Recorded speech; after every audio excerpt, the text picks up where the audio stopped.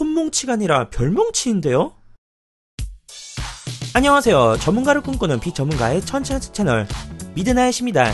지구인 여러분과 함께 관측한 다양한 천체를 다시 한번 쭉 살펴보는 시간 미드나잇 망원경으로 본 천체 오늘은 세 번째 시간으로 별들의 모임 성단을 관측해보는 시간을 가져보겠습니다. 비슷하게 생긴 것 같으면서 자세히 보면 저마다의 특징을 갖고 있는 성단들의 매력 속으로 풍덩 빠져보겠습니다. 그럼 지금부터 미드나잇 망원경으로 본 천체 제3탄 성단편 시작해보겠습니다. 먼저 봄에 볼 수 있는 성단을 만나보겠습니다. 봄을 대표하는 별자리인 목동자리와 목동자리 위에 있는 사냥개 자리 사이에는 M3 구상성단이 자리하고 있습니다. 봄에 볼 수 있는 성단 중 가장 유명하고 밝은 성단으로 삼각형을 이루는 세 별 가운데 성단이 위치하고 있는 것이 특징이고 밝기도 꽤 밝아 소구경 망원경으로도 도전할 수 있는 성단입니다. 목동자리의 아크투루스를 기준 삼아 찾으시면 좀 더 쉽게 M3을 찾으실 수 있을 겁니다. 다음으로 만나볼 성단은 까마귀 자리와 바다뱀 자리 인근에 위치한 성단입니다. 바로 M68입니다. 구상성단이 무엇인지 쉽고 짧게 설명하자면 주로 늙은 별들이 모여있고 수많은 별들이 똘똘 뭉쳐져 만들어진 별의 집단을 구상성단이라 합니다. 아무튼 M68은 매우 어두운 구상성단으로 다른 구상성단에 비해 밀집한 정도가 덜한 것을 확인하실 수 있습니다.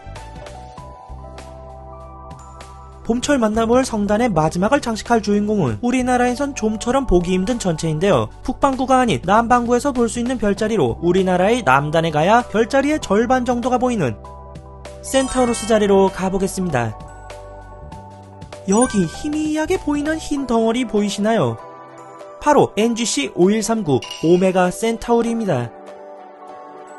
NGC 5139보다는 오메가 센타우리라는 이름으로 더 잘 알려진 이 구상성단은 북반구와 남반구를 통틀어 가장 크고 밝은 구상성단입니다. 밤하늘 화면에서 보셨다시피 클라스가 다른 크기와 밝기 때문에 마치 별처럼 보이는데요.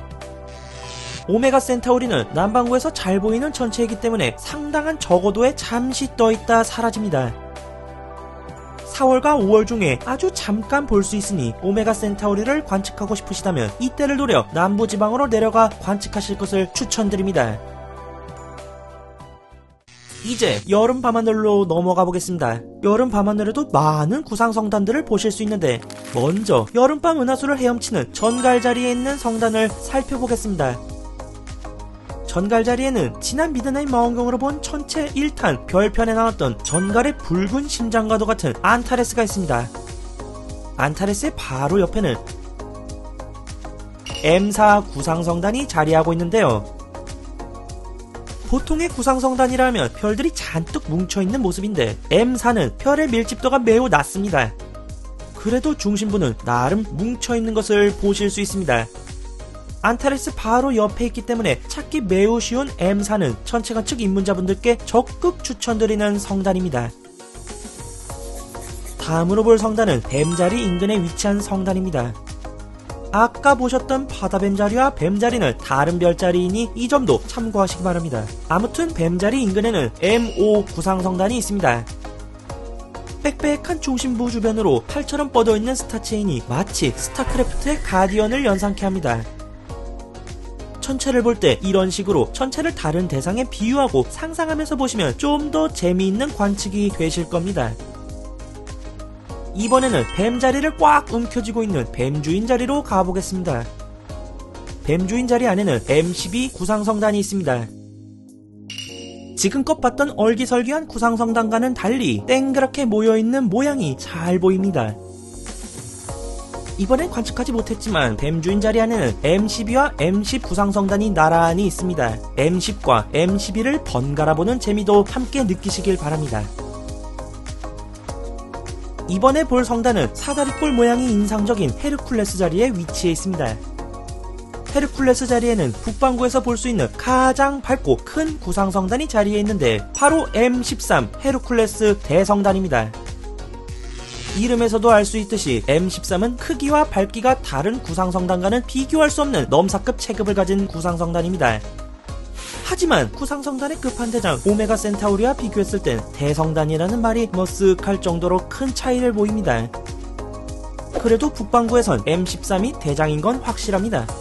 소구경 망원경으로도 쉽게 관측이 가능한 M13은 마치 소금가루를 뭉쳐놓은 듯한 모양으로 성단의 진한 중심부와 그 주변에 팔처럼 뻗어있는 star chain을 제대로 보실 수 있습니다. 참고로 저 미드나잇이 가장 좋아하는 성단입니다. 이번에 볼 성단은 산개성단입니다. 산개성단이란 구상성단과 달리 젊은별로 이루어진 성단으로 밀집도가 높지 않고 구상성단보다 훨씬 적은 수의 별이 모여있는 별의 집단을 말합니다. 아무튼 지난 미드나잇 망원경으로 본 천체 2탄에서 소개했던 M8 석호성운 그 내부에 있는 NGC 6530을 보겠습니다.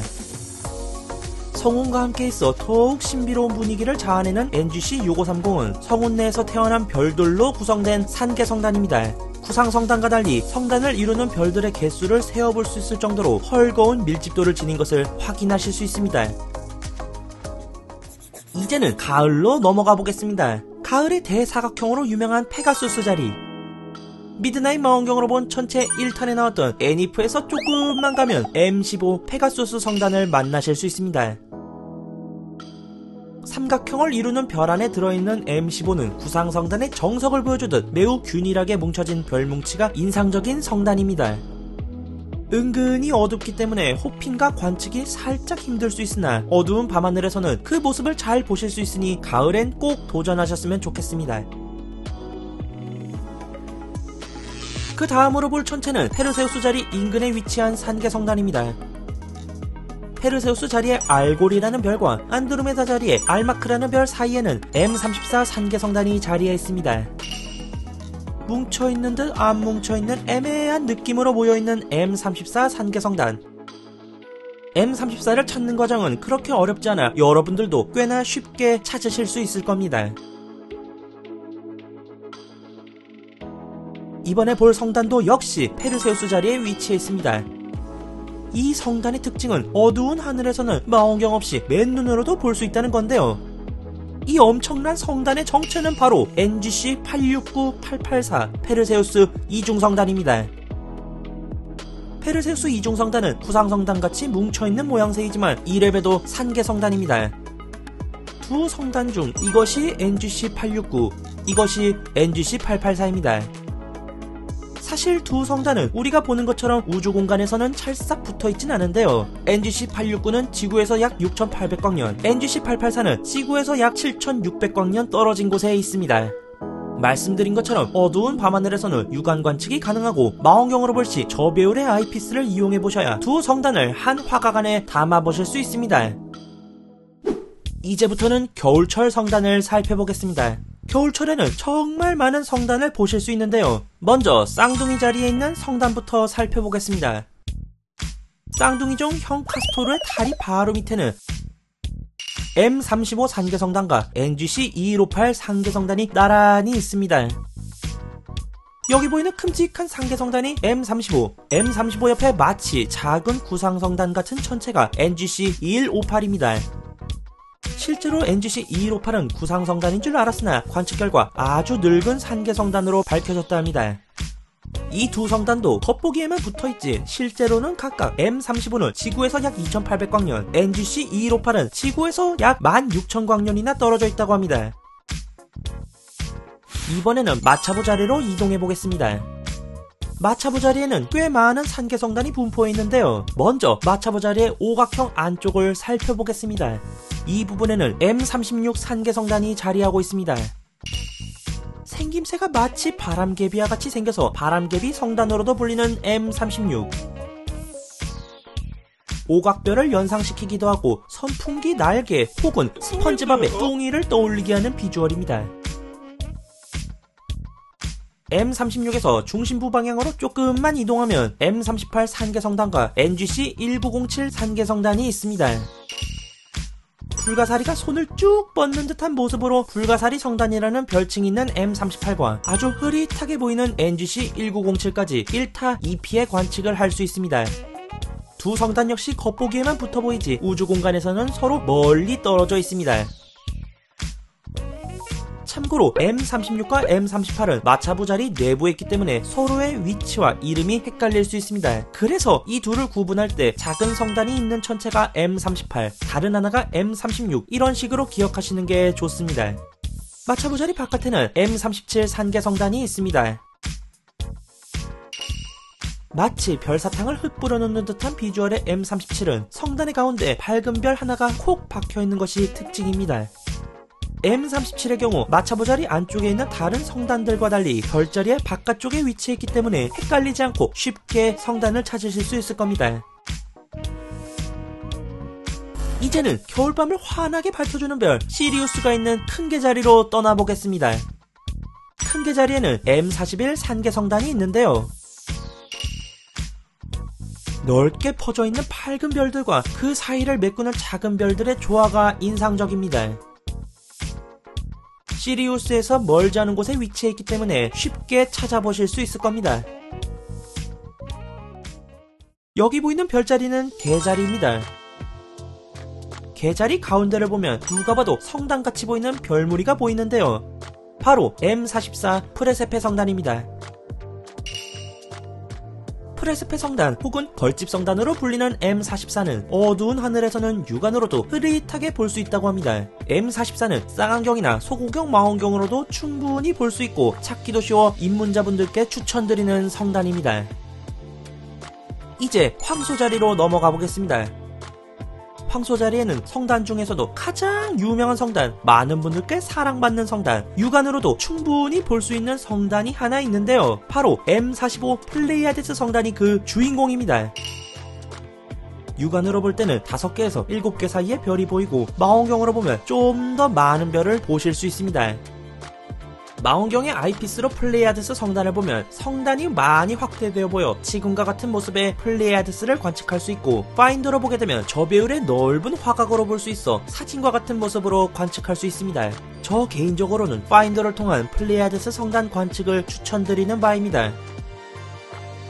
황소 자리에는 플레이아데스 성단만 있는 것이 아닙니다. 더 넓고 큰 범위의 성단이 있는데 바로 여기 황소 자리의 V자 부분을 콜드웰 41 히아데스 성단이라 부릅니다.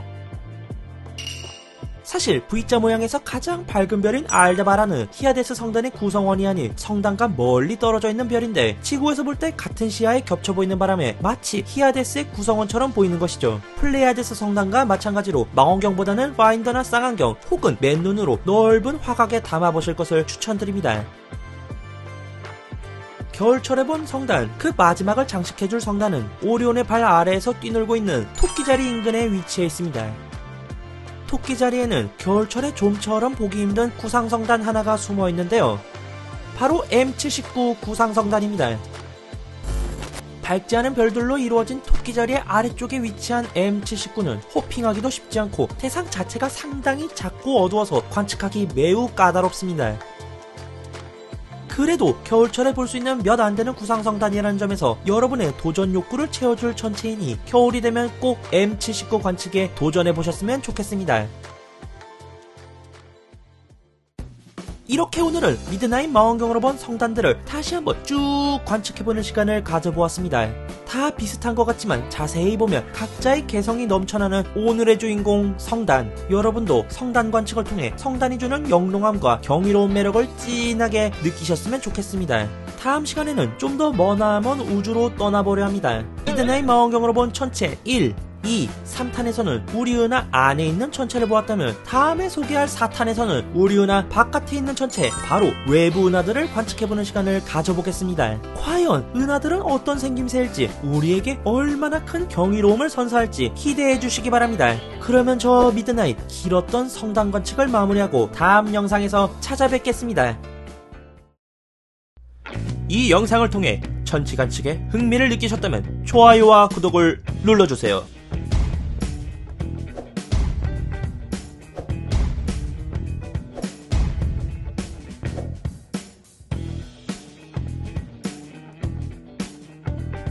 지금까지 미드나잇이었습니다.